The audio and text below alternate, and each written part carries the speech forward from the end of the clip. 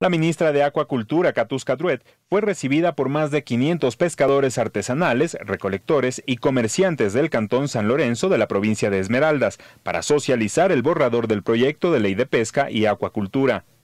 La titular de Acuacultura y Pesca, Catuska Druet, entregó a los dirigentes de San Lorenzo un listado de los pescadores que se encuentran precalificados por Ban Ecuador para la obtención de financiamientos para créditos productivos equipo de trabajo gabinete está unido para buscar el progreso de toda nuestra gente, de los pescadores, de los constructores, de todos los ciudadanos. Y estamos aquí comprometidos con ustedes en buscar ese desarrollo y ese progreso. Los pescadores artesanales manifestaron su apoyo a la nueva ley que reemplazará a la actual que está vigente desde 1974.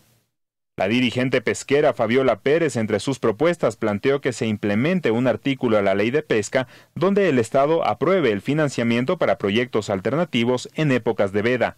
Se incremente un artículo o un literal allí en la ley de pesca que el Estado apruebe un financiamiento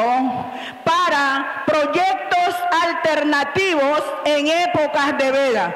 Mientras que Genaro Perea, pescador de San Lorenzo, expresó que es necesario que se implemente un plan que busque la limpieza del mar. El mar ya no puede más. ¿Por qué? Porque el mar ahora es un centro de desechos. Porque ahora el pescador cae al mar y en vez de coger pescado, lo que coge es basura. Entonces yo le propongo, señora ministra, de que dentro de la ley se pronuncie un proyecto que venga con calidad de defender al mar, de limpiar el mar. La provincia de Esmeraldas cuenta con 4.896 embarcaciones artesanales que se dedican a la captura y recolección de concha, ostra, cangrejo azul, jaiba, camarón y peces. La cartera de Estado, a través de campañas de regularización, registra más de 1.600 pescadores artesanales en este sector.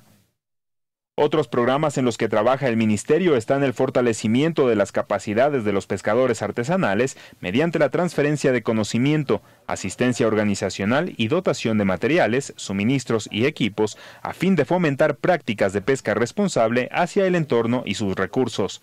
Luis Andrade, Noticiero Ciudadano.